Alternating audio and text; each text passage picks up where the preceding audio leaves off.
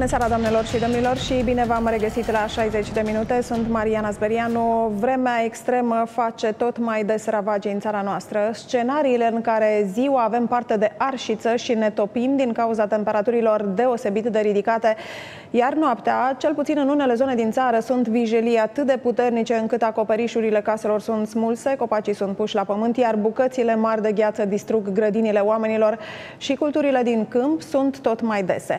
Și de parcă acest lucru nu ar fi suficient, zilele trecute din cauza caniculei în țara noastră s-a înregistrat și primul deces.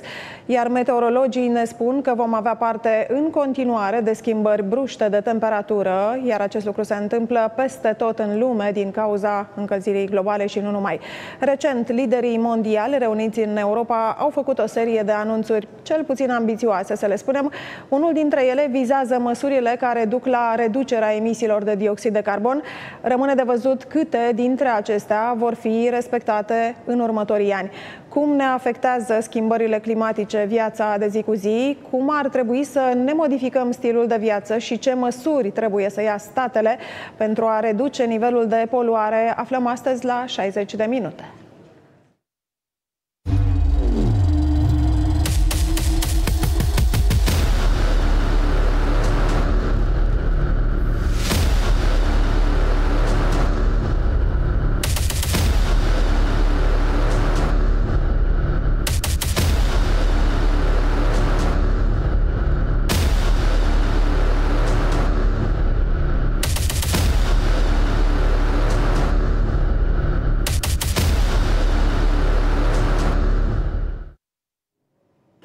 Așadar, schimbări radicale ale vremii. Astăzi, spre exemplu, centrul țării este sub cod galben de vijelii și căderi de grindină. De mâine însă și până joi, un nou val de caniculă va pune stăpânire pe România. Vor fi chiar și 39 de grade Celsius. În schimb, temperaturile vor scădea brusc la sfârșitul săptămânii, avertizează meteorologii. În ceea ce privește evoluția vremii în următoarele zile, un nou val de aer tropical abordează țara noastră, începând dinspre vest-sud-vest, se va extinde treptat. În cursul zilei de mâine așteptăm uh, temperaturi uh, undeva spre 37, poate chiar 38 de grade în sud-vestul țării, 33 vor fi în capitală, pentru că apoi mâine valul de căldură să se extindă și, uh, și aici în Câmpia Română să avem valori de peste 35 de grade, 38, uh, poate chiar 39 în Banat și un disconfort termic deosebit de accentuat la amiază atunci când se vor atinge aceste temperaturi maxime. Uh, iar în ceea ce privește instabilitatea atmosferică, aceasta va mai afecta doar zonele de deal și de munte cu totul izolat, în rest poate o ploaie trecătoare. Uh, de joi însă situația se schimbă pentru că un front atmosferic destul de bine uh, accentuat, destul de bine conturat, va aborda țara noastră dinspre vest, nord-vest și odată cu pasajul acestui sistem frontal și vremea se va răcori în a doua parte a săptămânii despre schimbările bruște de temperatură din țara noastră deocamdată și efectele acestor schimbări. Vorbim cu invitații mei pe care vi prezint și dumneavoastră, domnilor, domnilor. Domnul Bogdan Antonescu, doctor expert în fenomene meteo extreme, este alături de mine în platou. Bună seara, domnule Antonescu, seara. și mulțumesc foarte mult pentru că sunteți alături de noi. Prin Skype este uh, în legătură cu noi și îl vedem și domnul profesor Mircea Duțu, președintele Universității Ecologice uh, din București. Uh, bună ziua, domnule profesor, și mulțumesc mulțumesc pentru că sunteți alături de noi de asemenea. Bună ziua! M-aș opri la... Și eu pentru invitație. M-aș opri la dumneavoastră, domnule Bogdan Antonescu, pentru uh, început. Uh, ne tot uităm la dumneavoastră, specialiștii, și încercăm să înțelegem ce se întâmplă în ultima perioadă, în ultimii ani, în ultimele veri, în, ultim, în ultimele ieri, pentru că lucrurile nu mai sunt nici de cum așa cum erau uh, când le știam noi uh, în copilărie, nu? Cu primăvara aceea clasică, cu vara, toamna și iarna. Ce se întâmplă? Um, se întâmplă mai multe lucruri. Odată cu încălzirea, creșterea temperaturii medii globale și cu aceste schimbări climatice avem tot felul de efecte. De exemplu, asupra fenomenelor severe, pentru că despre ele vorbim destul de mult în ultima vreme. Uh, din păcate, aici răspunsul nu este foarte clar. Deci dacă ne gândim că în ultimii ani asistăm la din ce în ce mai multe fenomene severe, cum ar fi tornade, gridele de mari dimensiuni, lucrurile acestea nu știm dacă s-au schimbat. Pentru că Uh, știm că din simulări numerice, știm că în viitor, până în 2100, vom avea o frecvență mai mare a zilelor în care avem furtuni, dar nu știm sigur dacă acestea vor produce tornade sau dacă vor produce grindine de mari dimensiuni sau inundații rapide. Deci lucrurile astea știm că se vor întâmpla, însă nu putem să spunem exact uh, uh motiv, uh, sau mai bine nu putem să spunem clar ce furtună uh, se va dezvolta. Deci lucrurile în viitor, în următorii 50-60 de ani, vor merge către mai multe, către mai multe furtuni. Și probabil că în următorii ani o să înțelegem din ce în ce mai mult și atunci o să putem spune dacă, o să putem spune dacă grindina va crește, în, vom avea grindine de mai mari dimensiuni sau intensitatea tornadelor va crește. Ceea ce observăm ca o, schimb, ca o consecință, consecință directă a schimbărilor climatice este um, creșterea frecvenței valorilor de căldură, a intensităților, a lungimilor, Um, lucrurile astea sunt destul de cunoscute pentru că ne gândim simplu. Crește temperatura medie globală, deci ne așteptăm ca toată distribuția de temperatură care am avut-o până acum să fie cumva deplasată către valorile, valorile mai mari. Și sunt foarte multe studii în acest domeniu, în, în schimbările legate de valurile de căldură. Deci pe viitor ne așteptăm ca frecvența lor să crească, dar și intensitatea lor să, să crească. Și atunci va trebui să, să ne adaptăm la început la, la noile condiții de, de temperatură ridicată și să valurile de căldură cu care ne vom confrunta. Domnule profesor uh, Mircea Duțu, aș veni la uh, dumneavoastră, evident, pentru început cu uh, aceeași întrebare. Va trebui să uh, ne obișnuim până a începe să punem în practică uh, niște măsuri pe care fiecare stat în parte ar trebui să le ia, nu? Fără îndoială că da, dar până atunci avem aceste obiective fixate prin acordul de la Paris, pe baza evaluărilor științifice realizate de grupul interguvernamental pentru schimbări climatice, respectiv dacă este posibil să limităm creșterea temperaturii medii globale la 2 grade Celsius în raport cu uh, nivelurile din perioada preindustrială și dacă este posibil chiar la 1,5 grade Celsius. Este adevărat că uh, vremea se menține în tiparele ei tradiționale, dar în condițiile creșterii temperaturii medii globale uh, vom asista la fenomene meteorologice extreme mai frecvente, mai intense și cu caracteristici pentru fiecare regiune și chiar localitate date în parte. Într-adevăr, pentru România, în privința acestor fenomene, se au în vedere, în primul rând, uh, sporirea uh, perioadelor de caniculă, a intensității și duratei acestora și uh, inundațiile de pildă, adică modificarea într-un anumit sens a regimului precipitațiilor care devin mai rapide, mai intense în unitatea de timp și mai uh, periculoase. Haideți să ne explicați puțin, uh, domnule Bogdan Antonescu, uh, cum această creștere a temperaturii uh, ne afectează deja, vedem, de câțiva ani, viața de zi cu zi. În ce fel e stresant, în primul rând, pentru, pentru noi, pentru fiecare individ în parte, pentru organismul nostru? Sigur, aceeași întrebare ne-am pus-o și noi în, în mediul academic, să spunem așa, în cercetare. Și sunt și anumite studii pe care le faceți, nu întâmplă Da, da, da. Am cer... exact acest lucru am încercat, pentru că uh, atunci când ne gândim la, la aceste valuri de căldură sau temperaturi ridicate, nu trebuie să ținem cont numai de temperatură, trebuie să ținem cont, de exemplu, și de umiditate, trebuie să ținem cont și de, de vântul din zona respectivă, de modul cum sunt îmbrăcați oamenii, de toate lucrurile acestea. Și atunci uh, am folosit un, un indice, dacă vreți, un indice care are ca mărime tot grade Celsius, deci un fel de temperatură. Uh, Um, este un indice, se numește Universal Thermal Index, um, care încearcă să ia în considerare și temperatura, și umiditatea, și vântul, uh, deci parametrii meteorologici, dar și felul cum sunt îmbrăcați oamenii. Și atunci s-a dezvoltat, s-a dezvoltat un, un model matematic și putem să spunem, um, putem să dezvoltăm diferite moduri de a prognoza acest, acest indice. Uh, din ce am văzut noi, uitându-ne cum a evoluat indicele între 1979 și 2019, a crescut numărul orelor cu valori ridicate pentru acest indice, de ceea ce înseamnă un stres termic foarte mare. Deci, să vă dau un exemplu pentru România, există o creștere de 6 ore pe an în perioada de care v-am spus mai devreme, 1979-2019. Adică avem cu, uh, ca să fie foarte clar, avem cu 6 ore mai mult uh, ore de căldură, an. nu? Da. În fiecare an, în din fiecare 79 an. încoace. Da. Deci a crescut și la, la nivelul Europei. În special în partea de sud a Europei se face resimțită uh, lucrul acesta. A scăzut numărul zilelor sau numărul orelor, de fapt, cu um, stres termic da, în zona rece, deci sunt mai puține perioade cu răcire accentuate.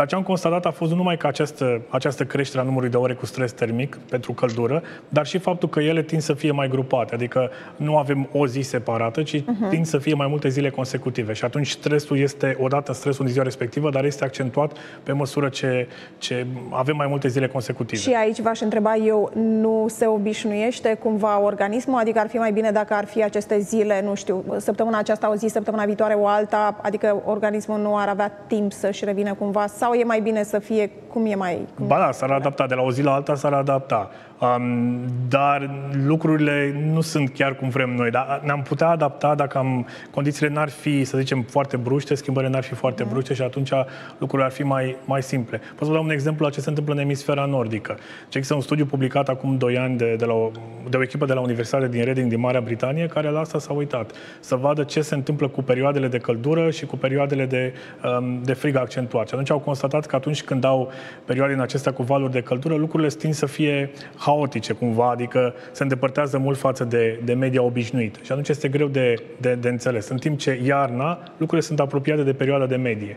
Asta ce înseamnă? Înseamnă că dacă în timpul iernii noi ne obișnuim cu un anumit tip de, de iarnă, dacă peste ea avem uh, creșteri uh, sau scăderi bruște de temperatură, organismul se adaptează mai, uh, mai greu față de timpul verii când sunt aceste fluctuații și atunci probabil că ne adaptăm mai ușor. Domnule profesor, am simțit așa că aveți o completare de făcut înainte de a cere da. uh, niște... Vă rog, vă rog. Știm cu toții că și la noi se utilizează tot mai mult și mai ales uh, televiziunile, temperatura efectiv resimțită. Ca atare, uh, dincolo de temperatura standard, care știm cu toții cum se măsoară într-un adăpost meteorologic la 2 metri uh, distanță de pământ și așa mai departe la umbră, se calculează tot mai mult conform unei formule standard și temperatura resimțită, iar în ultima perioadă se au în vedere și indicii de um umiditate, temperatură, umiditate, care pot să aibă un impact deosebit asupra uh, sănătății și pentru viitor. Uh, un fenomen de această natură va avea un impact din ce în ce mai mult asupra uh, sănătății umane și a vieții chiar, pentru că uh, după 80 de unități, dacă ne apropiem 90-95, putem să spunem că uh, o asemenea situație pune în dificultate organismul uman, pentru că, practic, schimbul de căldură între un organism și mediu nu mai are loc. Trebuie să avem în vedere de asemenea că uh, suntem uh, într-o situație în care uh, aceste evoluții contrastante, care tind să dea tiparul de vreme, pun la grele încercări adaptarea organismului uman. Trebuie să spunem că, într-o formulă standard, după 25 de grade Celsius, temperatura ambientală, organismul înseamnă să nu se mai simtă bine și să facă efort de adaptare situație în care, în raport cu starea de sănătate, vârsta, uh, configurația fiecărui organism, uh, fiecare uh, individ se adaptează mai rapid, mai deplin, are probleme asupra influenței organismului și așa mai departe. Ca atare, între temperatură, temperatură umezeală și starea generală a individului, a persoanei, există o legătură din ce în ce mai evidentă. Am auzit în jurul nostru uh, cu toții, domnilor, cred că în, această, uh, în, în ultimele săptămâni, faptul că știm prea bine, au fost acele zile cu foarte multe ploi în multe zone ale țării, cu temperaturi destul de scăzute pentru această perioadă, după care au venit zilele acestea uh, caniculare, diferențe foarte mari de temperatură și cumva cam toți am simțit acea umiditate pe care nu o simțeam în România, nu? Um, altă dată. Ce s-a întâmplat mai exact? Aș putea să încerc să vă răspund eu la întrebarea aceasta. Vă rog. Um, lucrurile sunt dictate de ce se întâmplă la scara României, sunt dictate la ce se întâmplă la, la scara emisferei, să spunem așa.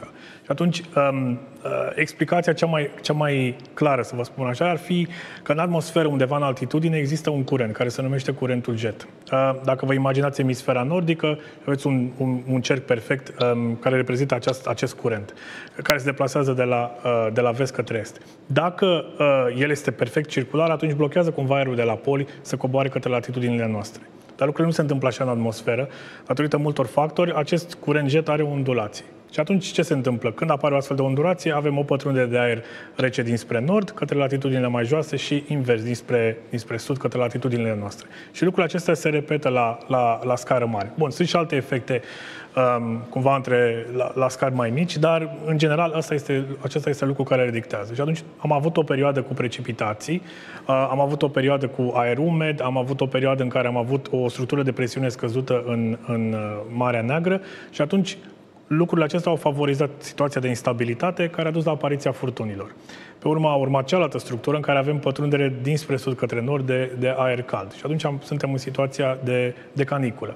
Bun, canicula a fost puțin accentuată, ce spuneam și mai devreme, de um, umiditatea aceasta. Faptul că am avut umiditate, precipitații anterior, perioada imediat înainte. Apropo de uh, predictibilitate, domnule profesor uh, Duțu, uh, ar trebui să ne obișnuim, pentru că urmăream ceva mai devreme uh, ce ne spuneau meteorologii despre zilele următoare. Din nou vedem coduri, uh, evident pot fi de vijelii sau pot fi de caniculă în funcție de, de zone, poate de ce nu.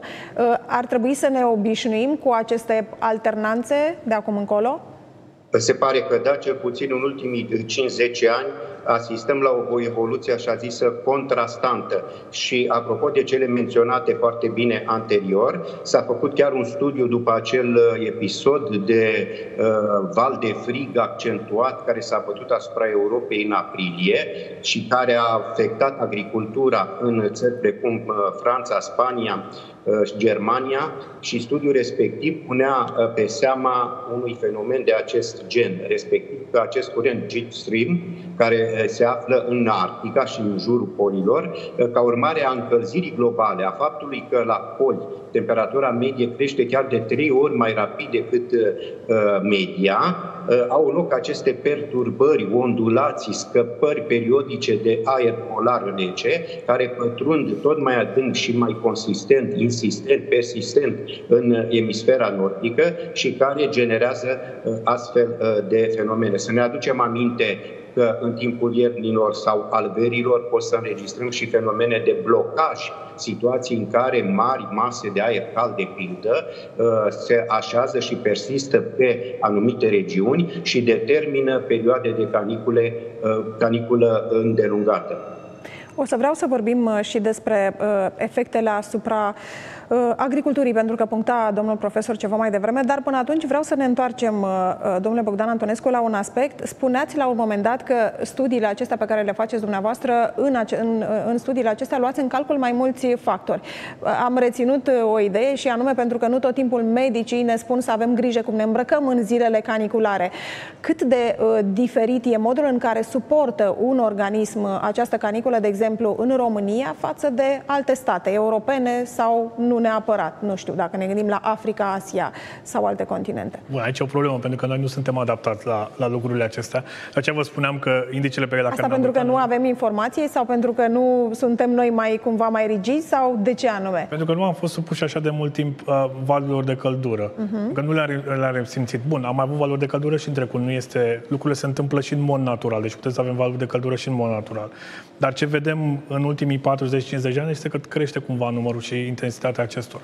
Și atunci ne este greu să ne adaptăm, pentru că întotdeauna suntem obișnuiți cu climatul acesta temperat, suntem obișnuiți să avem iarnă, să avem o vară, um, anotimpuri separate. Bun, acum lucrurile încep să se schimbe, pentru că există și influența schimbărilor climatice asupra, asupra lungimii anotimpurilor. Deci multe studii legate exact de acest lucru indică că se va, anotimpul de vară va fi mult mai lung, iar cel de iarnă mai scurt. Și vom avea aceste zone de tranziție care din, și din nou se vor schimba. Deci perioada de primăvară și de toamnă. Deci lucrurile sunt, sunt destul de complicate și atunci probabil că în, într-o anumită perioadă cumva o să ne adaptăm. Dar prima dată lucrurile vor avea un efect, ce spuneați mai devreme, asupra agriculturii. Faptul că schimbăm anotimpurile, faptul că schimbăm, um, să zicem, perioada de înflorire, lucrurile acestea se vor, vor avea o mulțime de efecte. De exemplu, alergiile la polen se vor schimba pentru că vom avea o perioadă mai mare cu temperaturi calde. Um, ecosistemele vor fi iarăși influențate pentru că, eu știu, uh, depind din nou de, te, de temperatură. Sunt multe lucruri pe care uh, schimbările climatice climatice o să le producă și nu numai asupra noastră și asupra Deci, cu alte cuvinte, va trebui să ne uh, adaptăm din toate punctele de vedere, dar pentru că vorbim de această adaptare a fiecăruia dintre noi, vreau să vorbim în continuare pentru că e în legătură telefonică directă cu noi doamna doctor Alice Grasu, șeful Serviciului uh, de Ambulanță București Ilfov. Vă salut, doamna doctor, și vă mulțumesc pentru această intervenție. Bună seara! Aș vrea să vă întreb uh, înainte de toate, pentru că e clar, fiecare dintre noi trebuie să fim uh, mai atenți în, uh, în perioada aceasta, pentru că avem aceste schimbări bruște și radicale de temperatură, caniculă, apoi temperaturi mai scăzute. În primul rând, doamna doctor, există anumite categorii care sunt mai vulnerabile în această perioadă decât altele? În mod cert, sugarii, copiii mici, persoanele cu dizabilități, în general persoane dependente de noi, dar și persoanele de vârstă a treia și persoane care au afecțiuni cronice și care, din cauza căldurii, se pot decompensa, se pot acutiza aceste afecțiuni. Ce ar trebui să facă oamenii în această perioadă sau recomandările care sunt pentru aceste zile delicate, să le spunem? Sunt acele recomandări pe care noi le dăm în fiecare an când temperatura, temperatura ambientală uh, atinge un anumit prag și când vorbim de caniculă. Deplasările sunt recomandate în primele ore ale dimineții sau seara pe cât posibil prin zone umbrite, alternând deplasarea cu repausul în spații dotate cu aer condiționat. Și când spun acest lucru, mă refer la farmacii, magazine, uh, spații publice, moluri se evită aglomerațiile, expunerea la soare voluntară în intervalul 11-18 și categoric efortul fizic intens în acest interval, 11-18. Când plecăm de acasă în aceste zile caniculare, vom purta îmbrăcăminte uh, lejeră, subțire, de culoare deschisă, din fibre naturale, capul va fi protejat cu pălărie, șapcă sau se va purta umbrelă împotriva radiațiilor solare, iar ochii vor fi protejați cu ochelari de soare care chiar să protejeze, nu doar din motive estetice. Și ce e cel mai important în această perioadă este ce mâncăm și cum ne hidratăm se vor consuma 1,5-2 litri și în zilele foarte călduroase peste 2 litri de lichide pe zi. Nu prea reci, apă, sucuri naturale din fructe, ceaiuri căldute, ceai de soc, ceai de mușețel, ceai de urzici, care ajută la o bună hidratare. Se vor mânca multe fructe și legume. Iaurtul este un um, echivalent foarte bun al uh, apei asigură o hidratare foarte bună. Important este să nu așteptăm să apară senzație de sete. Vom consuma un pahar de apă sau de iaurt la jumătate de oră. Atenție, iaurtul păstrat în condiții optime. Se vor evita băuturile cu conținut ridicat în cofeină, băuturile foarte dulci și băuturile alcoolice. Toate aceste categorii cresc diureza și elimină apa din organism. Cu alte cuvinte, uh, trebuie să fim atenți și știm o parte dintre aceste uh, sfaturi pe care ni le-a dat doamna doctor Alice Grasu, deja le știm, dar e bine să ni le reamintească un specialist ori de câte ori este nevoie. Vă mulțumesc foarte mult pentru această intervenție și pentru toate aceste sfaturi. Continuăm acum cu o informație de ultimă oră.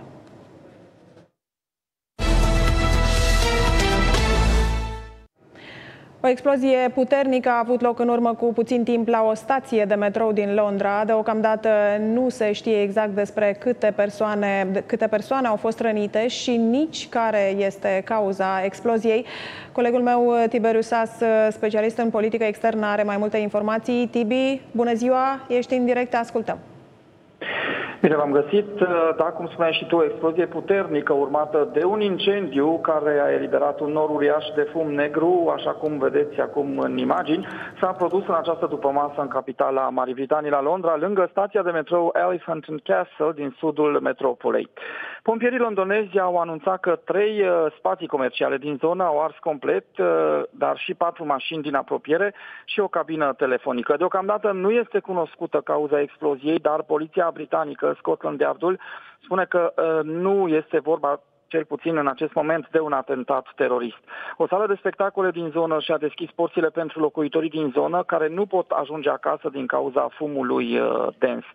Ofițerul și serviciul de ambulanță din Londra sunt la fața locului pentru a ajuta brigada de pompieri uh, din capitala britanică. S-au închis drumurile din zona respectivă, iar oamenii sunt sfătuiți să evite această zonă. Stația de metro a fost evacuată, iar evacuările rezidențiale din zonă sunt în curs de desfășurare. Deocamdată atât, revenim în orele următoare cu noi informații. Tiberius As a fost în direct despre explozia puternică ce a avut loc în urmă cu puțin timp la o stație de metrou din Londra. Toate detaliile le găsiți și metropolatv.ro. Revenim la discuția noastră din platou. Ne spunea ceva mai devreme, domnilor, doamna doctor, ne dădea și niște sfaturi pe care le știm, pentru că tot punctam, le punctam pe o parte dintre ele aici în, în platou. Uh, vă promiteam că vreau să uh, discutăm și să revenim și la uh, agricultură, pentru că sunt Dacă foarte permiteți mie rog, o intervenție, vă rog, să rămânând tot la sfaturile medicale. Trebuie să avem în vedere că în perioada de vară se produc o serie de fenomene specifice anotimpului, cu impact deosebit asupra sănătății cetățenilor. Este vorba, în primul rând, de apariția în condițiile în care poluarea puternică din orașe vine în contact cu radiațiile ultraviolete și ultraroșii și generează așa numita ozonită, un gaz deosebit de iritat pentru oi și sistemul respirator. De asemenea, este vorba de acel smog fotochimic care uh, marchează multe locuri centrale din București cu uh, o circulație deosebit de puternică. Și în fine s-a încercat și la noi în urmă cu vreo 10-15 ani experiența din marile metropole occidentale, cea de a adoptat de către autoritățile locale planul de acțiune anticaniculă. Pentru că este ușor să dai sfaturi în mass media, dar este mai greu să adopți o serie de măsuri concertate la nivelul marilor orașe. Pe lângă celebrele eh, corturi de prim ajutor cu apă și cu un personal medical de specialitate, în alte țări se urmăresc și alte obiective, de pildă măsuri de circulație și uh, de gestiune rațională a traficului, în condițiile în care în perioada de vară cu temperaturi ridicate, uh, traficul intens generează particule extrafine sau alte uh, forme de poluare, se poate uh, dispune creșterea, creșterea transportului în comun, interzicerea autovehiculelor în anumite zone sau pur și simplu pentru anumite perioade interzicerea pătrunderii anumitor tipuri de autovehicule. De asemenea, se pot amenaja spații speciale de refugiu refugi în perioada de caniculă a persoanelor cu probleme uh, de sănătate, uh, cum sunt magazinele, sălile de spectacol, bisericile, alte locuri publice uh, accesibile publicului. Echipe de voluntari, mai ales din rândul studenților din anii terminal de la medicină, care să acorde primul ajutor. Iar în alte situații se recurge chiar la o inventariere pe localități a persoanelor vulnerabile, a persoanelor în vârstă, bolnave, cu, de pildă cu boli ale aparatului respirator, cardiovascular, mai expuse la asemenea perioade și uh, voluntarii țin legătura cu persoanele respective și atunci când este nevoie intervin. De ce spun asta? Este nevoie să ne gândim că, mai ales în cadrul Bucureștiului și al marilor orașe, deținem triste recorduri privind poluarea aerului și nu numai, dar aceasta în primul rând, care un, are un impact deosebit asupra sănătății. Și ar trebui să se implementeze implementeze, să pătrundă și la noi asemenea uh, practici de gestiune a problemelor uh, dificile uh, generate de încălzirea globală, de temperaturile acestea, cu atât mai mult cu cât în marile orașe, de pildă la televizor, la ora 7 seara se dau pe poduri galbene stări ale poluării, se fac uh, recomandări pentru anumite categorii de vârstă să evite ieșirea în spațiu public uh, la anumite ore, în anumite zile și așa mai departe. Mai cu seamă că, uh, apropo de ce spune, a subliniat foarte multe aspecte domnul profesor și poate o să ne oprim la câteva dintre ele, mai cu seamă că a adus în discuție domnul profesor uh, poluarea, nu știu, mă gândesc acum, domnule Antonescu, numai la uh, toate navele acelea din ultimele luni pe care le-am văzut ajungând în portul Constanța, mă gândesc, de exemplu, la capitală, care a fost pur și simplu sufocată de gunoaie la propriu, ca să nu mai spunem ce s-a întâmplat după ce au început elevii școala, după această perioadă de pandemie și a fost tot acest acest trafic despre care vorbea și domnul profesor ceva mai devreme. Uh, destul de important de gândit niște politici coerente cumva da, și aici e foarte interesant de spus că pandemia ne-a învățat ceva. Um, pentru că am avut o perioadă în pandemie adevărat pentru anumite gaze cu, cu efect de seră, care sunt produse în special de trafic, de, am asistat la o scădere a lor. Evident, după ce traficul, după ce perioada de lockdown a fost ridicată, atunci lucrurile au luat-o de la, s-au, s-au reîntors la, să zicem, situația de normalitate, adică situația de, de poluare ridicată. Dar am învățat că putem să facem ceva dacă reducem traficul, dacă luăm anumite măsuri, putem Dar că trebuie înlocuit le... cumva cu altul. Da, lucrurile sunt mai... destul de grele. E mai greu să facem, adică Evident, noi putem să facem, fiecare în parte putem să facem ceva, dar lucrurile astea cumva trebuie coordonate. Vorbeați mai devreme de uh, Uniunea Europeană care încearcă să, să reducă impactul schimbărilor climatice. Deci lucrurile astea trebuie coordonate la nivel mare prima dată și apoi la nivelul fiecăruia. Și da, Cel mai periculoase sunt PM2,5, adică exact.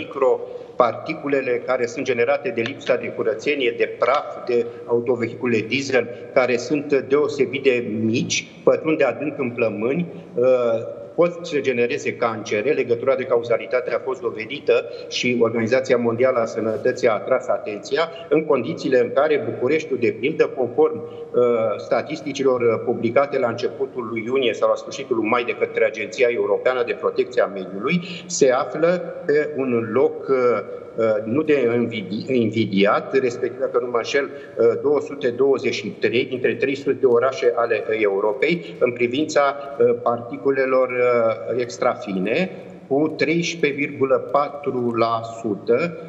și pe părți pe milion pe uh, metru cub de aer, în situație în care starea aerului din București, din această perspectivă, este uh, calificată drept proastă. Ca atare, uh, trebuie să avem în vedere că există o strânsă legătură între calitatea mediului în general, inclusiv temperatura, și starea de sănătate a populației. Pandemia ne-a arătat și ne-a pus în față că trebuie să promovăm conceptul o singură sănătate a omului, a animalului și a ecosistemului. Și că atunci când uh, ne uh, evaluăm starea de sănătate, trebuie să avem în vedere și această noțiune de expozom, adică totalitatea factorilor la care un corp, încă din, din stare de fetus și de-a lungul întregii vieți, este expus la diferiți factori de poluare, de temperatură uh, și așa mai departe, pentru că în timpul pandemiei a fost bine ca scăzut scăzut poluarea, dar această imensă cantitate de biocide pe care am folosit-o va afecta pe uh, termen lung uh, pe mulți dintre noi, mai ales în uh, sistemul perturbatorilor uh, endocrini. Da, numai că noi, domnule Bogdan Antonescu, uh, cumva nu cred că suntem pregătiți, apropo de ce spuneați mai devreme, că nu prea suntem pregătiți să facem față la schimbările acestea bruște și la mai multe zile consecutiv de canicule, de exemplu, sau de vijelii sau de orice uh, fenomene din acestea extreme or fi, pentru că mi-amintesc acum, cred că acum, prin 2019 nu ne amintim de inițiativa aceea de la nivelul primăriei uh, generale a capitalei, nu când s-a discutat despre interzicerea anumitor tipuri de mașini, nu care poluează foarte mult, a fost o întreagă discuție, atunci toată lumea s-a supărat cum se poate ca primarul general să vină și să spună că nu mai avem voie cu mașinile. Adică cumva am vrea și pare că ne pasă de cum e mediul nostru, de aerul pe care îl respirăm într-un oraș mare, precum e Bucureștiul și nu numai, sunt și altele în țară. Dar pe de altă parte, când e vorba să ni se interzică anumite lucruri sau să plătim pentru asta, nu prea mai suntem la fel de deschiși.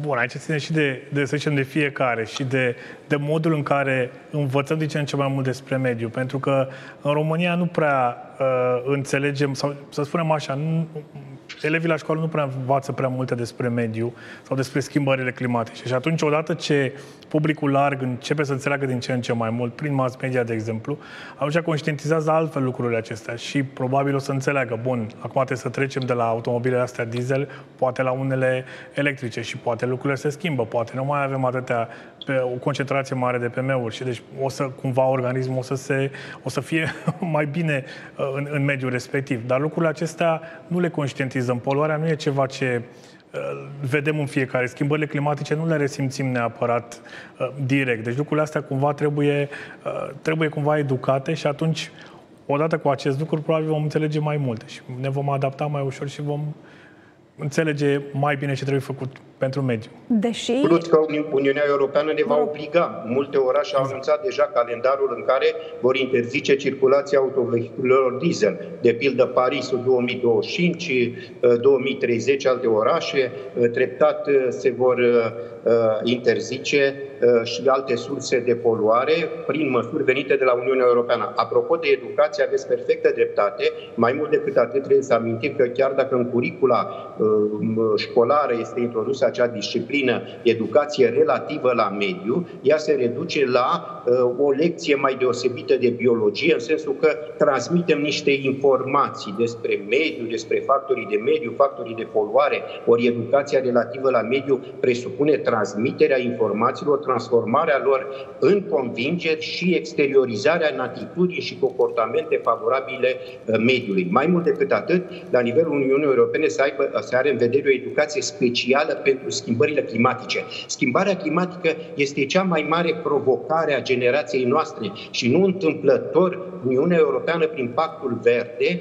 a stabilit uh, că documentul respectiv reprezintă noua strategie de dezvoltare durabilă a Uniunii. Nu este vorba numai de faptul să ne ferim de fenomenele meteorologice extreme. Va fi în viitorul apropiat noul mod de a gândi, a produce, a consuma și a exista exista al cetățenilor Da, dar lumii. vedeți, domnule este profesor, că și aici e o discuție, pentru că sunt, dacă e să ne, uităm, să ne uităm la statele mai puțin dezvoltate, ele var, vor trebui cumva ajutate pentru a-și ajusta, să spun, industria, economia la nivelul țărilor dezvoltate pentru a putea pune în practică o parte dintre aceste decizii despre care se, se vorbește la nivelul Uniunii și la nivel global, pe, pe de o parte. Și dacă e să da. dăm puțin timpul în urmă și să ne uităm la, uh, la cel mai recent summit, nu, la care a participat inclusiv președintele Americii, uh, lăsată deoparte cumva de America problema asta cu clima, nu, în, în perioada lui în perioada Donald, Trump. Exact, în perioada lui Donald Trump. Uh, uh, atunci pare că lucrurile nu se mișcă foarte greu nici la nivelul discursurilor, dar mite a măsurilor pe care ar trebui să le implementeze toți acești lideri. Acum suntem în perioadă în care mai ales țările dezvoltate au făcut o prioritate Uh, din uh, schimbarea climatică, cu două obiective. Reducerea cât mai consistentă în 2030 a emisiilor de gaze cu efect de seră. Uniunea Europeană, prin legea privind clima, adoptată zilele trecute, și-a asumat reducerea cu 55% a nivelului de uh, gaze cu efect de seră în raport cu 1990 și mai toate țările lumii au recunoscut oficial urgența climatică și au stabilit neutralitatea climatică, adică zero emisii nete de carbon în 2050, China în 2060. Ce înseamnă emisii nete? Să nu spunem că nu mai emitem deloc uh, gaze cu efect de seră. Cantitățile pe care le emitem le și neutralizăm prin absorbanții naturali și este posibil uh, artificial. De ce este important? Pentru că, fiind o transformare la nivelul modului de producție, la nivel energetic, vom trece de la Uh, consumul de uh, energie bazat pe combustibili fosili, adică petrol, cărbune și gaz, la altul, întemeiat în primul rând pe surse regenerabile, inclusiv nucleare, hidrogen și așa mai departe. Ca atare va fi o transformare fundamentală dacă nu vom reuși să ținem pasul inclusiv în restructurarea economiei, vom rămâne în urma istoriei așa cum a fost până acum. Iar lucrul cel mai evident este la nivelul conținutului uh, celebrului plan de redresare și reziliență, când noi în loc și nici nu putem să avem obiective precum celelalte țări din mari din Uniunea Europeană care alocă peste sau aproape jumătate economii verzi, trebuie să ne uh, concentrăm asupra unor obiective de dezvoltare specifice cel mult celei de-a doua jumătăți a secolului al XX. Acum cred că trebuie să înțelegem, domnule Bogdan Antonescu, um, să înțelegem de ce e important să uh, uh, stopăm aceste lucruri. Pe de o parte, pentru că vorbim de foarte multe pierderi de vieți omenești, mă uitam pe un material în care se vorbea Organizația Mondială a Sănătății, potrivit Organizației Mondiale a Sănătății, poluarea aerului cauzează 7 milioane de decese în fiecare an. Ca să nu mai vorbim și de pierderile materiale. Și adică, mă, mă voi vă da o cifră. O secundă, o, doar o secundă, domnule profesor, doar o secundă, revin da. de îndată la, la dumneavoastră. Adică uh, uh, studiați de, de ani de zile aceste fenomene, cum ar trebui să conștientizăm mai exact? Ce ar trebui să înțelegem? Adică ce alte cifre ne pot convinge de ce ar putea urma dacă nu facem toate aceste lucruri pe care le pomenea domnul profesor mai devreme? Poluarea e unul dintre ele. Deci poluarea duce la un, un număr foarte mare de decese. Apoi, faptul că a crescut temperatura medie globală. E un studiu publicat foarte acum două săptămâni care asta arată că un, un mare număr de decese poate fi explicat prin aceste, datorită acestor valuri de, de căldură. Dar cred că cel mai important este să înțelegem că nu am ajuns în situația din care nu mai este punct de întoarcere, că încă mai putem să facem ceva. Adică mesajul nu trebuie să fie neapărat unul total negativist, adică nu mai avem ce să mai facem, asta este Uh, să încercăm să ne adaptăm. Păi nu, nu, nu, doar să conștientizăm să, să nu fie prea târziu, asta e ideea. Da, exact, asta trebuie să conștientizăm, trebuie să ne schimbăm noi la nivelul, uh, la ce face fiecare acasă, reciclare, utilizarea energiei regenerabile și toate acestea puse în contextul în care trebuie făcută puțin presiune asupra guvernelor, să spunem, să se schimbe anumite politici. Da? Și atunci lucrurile să fie coordonate și la scară mare, dar și la scara noastră. Pentru că dacă noi toți reciclăm, nu o să recicleze toată lumea. Da? Și atunci este o schimbare importantă, dar nu este cea mai importantă. Schimbarea cea mai importantă, după părerea mea, trebuie făcută la nivel de, uh, de politici. Și în continuare să înțelegem că mai putem face ceva. Deci lucrurile acestea nu, nu sunt, cum spuneam, punct fără întoarcere. N-am ajuns acolo. Da, vedeți dumneavoastră, pentru asta ar trebui fiecare dintre noi. Adică, în primul rând, aveam o discuție cu prietenii zilele trecute apropo de ce se întâmpla în sectorul 1 al capitalei cu războiul acesta și oamenii spuneau, ok, în regulă, eu pot să-mi iau uh, 3-4 saci și să colectez selectiv. Problema este că în momentul în care vine mașina aceea cu gunoiul, îl ia de valma pe totul și nu știi ce se întâmplă ulterior. Deși tu faci un efort sau îți cumperi o mașină electrică sau, adică trebuie uh, luptat pe mai multe fronturi, ca să zic așa. Educația educația individuală, în exact. primul rând, autoritățile care trebuie să aibă un plan de acțiune, nu și să-l pună în practică, nu? Da, pentru că asta este. Ce facem noi? Trebuie sprijinit de autorități. Pentru că altfel, degeaba, exact cum spuneați, degeaba colectăm diferențiat, pentru că dacă toate lucrurile ajung la un moment dat în același, în același punct. Și pe urmă, tu poți să te gândești de ce aș mai face acest lucru în moment ce nu, nu răzbesc cu chestiile astea. Bun, dacă totul e susținut, atunci, sigur, lucrurile acestea se vor duce la o schimbare și vom reduce din efectele acestea. Nu o să le facem în următorii uh, câțiva ani. Sunt lucruri de, de durată. Domnule profesor, uh, cât de mult ne-ar putea, uh, eu știu, ce ne-ar putea uh, mobiliza pentru o conștientizare mai profundă, ca să zic așa, niște constrângeri venite, iată, de la niște decizii care, care se iau la nivel de Uniune sau ce anume? Uh, vreau să fac două precizări. Spuneați foarte bine că la nivel mondial se înregistrează 7 milioane decese premature din cauza poluării. La nivelul Uniunii Europene circa 400-450 de mii, iar la nivelul României între 23 de mii și 25 de mii decese premature anuale ca urmare a poluării aerului. Iar ultimele studii arată că la nivel global, încălzirea globală, valurile de caniculă provoacă cel puțin 100 de mii de decese anual. Revenind la întrebarea dumneavoastră, fără fără îndoială că idealul ar fi ca fiecare dintre noi să conștientizeze că, uh, dintr-un anumit punct de vedere, uh, încălzirea globală și schimbarea climatică este un fenomen implacabil ceea ce putem să facem acum, prin reducerea emisiilor de gaze cu efect de seră și alte atari măsuri, nu este decât să relantizăm ritmul de producere al acestui uh, uh, fenomen. Și că cel mai important este ca să acționăm concomitent, atenuare a, și adaptare. Fiecare individ, fiecare colectivitate, fiecare țară care va reuși să se adapteze mai repede și mai deplin, va avea pierderi mai puține și va reuși uh, să-și uh, continue progresul economico-social. Mai mult decât atât, aș dori să uh, vă aduc în atenție o practică deosebit de uzitată sau din ce în ce mai mult uzitată în țările occidentale. Se vorbește de așa numitele procese climatice. În mai multe țări, în Franța, Marea Britanie, în uh, Belgia, în Germania, societatea civilă a dat în judecată statul, obligându-l să-și respecte angajamentele de reducere a emisiilor de gaze cu efect de seră și să ia măsuri de adaptare și de protejare a populației proprii.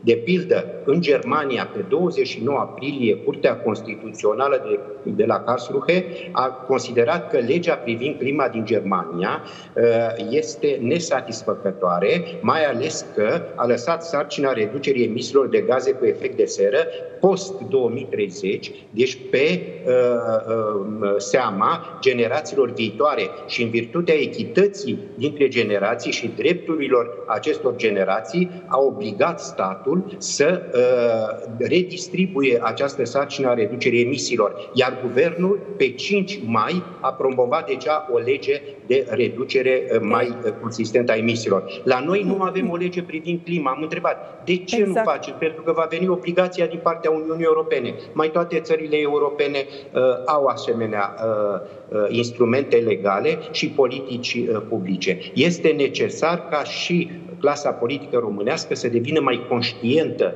de asemenea Uh, priorități. Da, și mă gândesc că acum uh, zâmbeam, uh, domnule Antonescu, pentru că mă gândeam apropo de PNRR, că l-am adus în discuția, în, în discuție în emisiunea de astăzi, mă gândesc la sistemele acelea de irigații și aș vrea pe final să revenim și la agricultură, un subiect care ne doare, nu, pe fiecare dintre noi, pentru că știm prea bine, pământ avem, teoretic ne uităm, cum să spun așa, cu nostalgie, poate în anii din trecut, nu, când rodea acest pământ, de data aceasta nu se mai întâmplă. Ce nu am înțeles. Ce nu înțelegem? A, nu înțelegem că, din nou, schimbările climatice o să afecteze și acest lucru. Așa simplu spus, din nou, um, pe măsură ce temperatura medie globală crește, atmosfera o să țină din ce în ce mai multă umiditate. Și atunci, în anumite locuri o să avem precipitații foarte multe, ceea ce înseamnă că într anumite regiuni o să avem um, precipitații foarte puține care o să ducă la deșertificare. Lucrurile astea trebuie înțelese foarte bine și în planul acesta de care spuneați mai devreme, trebuie gândit puțin și cercetarea în domeniul schimbărilor climatice, pentru că pare că știm destul de multe lucruri, însă știm cumva la scară mare. A trebuit să înțelegem ce se întâmplă la scara României, ce a trebuit cumva investit mai mult în cercetare în domeniile acestea. Sunt o mulțime de specialiști în România care fac cercetare aici, dar trebuie înțeles mai mult. Iar o parte importantă sunt acestea, valurile de căldură, deșertificarea, precipitațiile excedentare, lucrurile acestea care Uh, despre care abia acum începe să înțelegem mai bine de um, cum se desfășoară și cum vor fi afectate de schimbările climatice. Există comunicare, domnule Bogdan Antonescu, între toți cercetătorii, pentru că la un moment dat uh, ar trebui cumva, cel puțin din anumite domenii, să se așeze cu toții la masă, nu? Și să, pentru că e important să ai și punctul uh, de vedere al celuilalt, nu? Um, în cercetare, da, cumva prin, prin proiectele pe care le avem în comun diferite universități sau diferite institute de cercetare, da, ne așezăm în comun. Nu suntem o comunitate foarte mare, dacă ar fi să ne gândim așa, pentru că nu se până acum foarte nu a fost mult în cercetare. Subiect, da, și asta, dar până acum nu a fost un subiect foarte, uh, foarte la modă. Dar acum, din ce în ce mai mulți cercetători sunt în domeniul ăsta, din ce în ce mai mulți cercetători tineri vin să, să lucreze în domeniile acestea și investim din ce în ce. Avem, de exemplu, institutul la care lucrez eu are o mulțime de instrumente cu care monitorizăm, dacă vreți, și schimbările climatice sau ce se întâmplă cu atmosfera în regiunea noastră pe, pe termen lung. Deci avem și mijloacele necesare și cercetători. Și în funcție de asta, cred că ne putem schimba uh, și politicile agricole, economice uh, și, și sociale. Deci de mai avem, mai avem jumătate de minut, domnule profesor, vă rog. Deci conceptul de agroecologie de mult uh, la, la unii a făcut obiectul unor legi speciale care trebuie să fie impuși și la noi. Este nevoie de practici agricole noi, o agricultură inteligentă care să răspundă modificărilor de climă și să învățăm în noile condiții condiții ecoclimatice să producem și este nevoie de o cercetare interdisciplinară care să conștientizeze particularizarea manifestărilor schimbărilor climatice la teritoriul României, să vedem ce măsuri sunt necesare pentru reziliență și adaptare dacă vom uh, rămâne izolați și vom acționa pompieristic, vom suporta uh, consecințele drastic și nu vom reuși să ne adaptăm în timp potrivit noilor date ale realității ecoclimatice. Ultimul cuvânt la dumneavoastră, 20 de secunde, domnule Antonescu. Cercetare interdisciplinară. Sună atât de frumos dacă am fi capabil să uh, comunicăm și să uh, punem uh, câte un plan la punct uh, așa mai mulți este, spre, este lucru spre care ne îndreptăm acum, pentru că nu putem să facem un, un, singur, un singur domeniu de cercetare, nu putem să facem numai fizica atmosferei, de exemplu. Trebuie să, înțeleg acum, să înțelegem acum și cum afectează schimbările climatice uh, viața de zi cu zi, să colaborăm cu medici, de exemplu. Um, deci lucrurile acestea merg către interdisciplinaritate, altfel nu o să, nu o să putem. Așa să fie și să sperăm că data viitoare vom avea mai multe bile albe și planuri puse în acțiune. Domnule Bogdan Antonescu, domnule profesor Duțu, vă mulțumesc amândurora pentru că ați fost în această seară alături de noi. Vă mulțumesc și dumneavoastră. Colegul meu, Gabriel Bălașu, vă așteaptă de la fix la o ediție specială. Rămâneți alături de noi.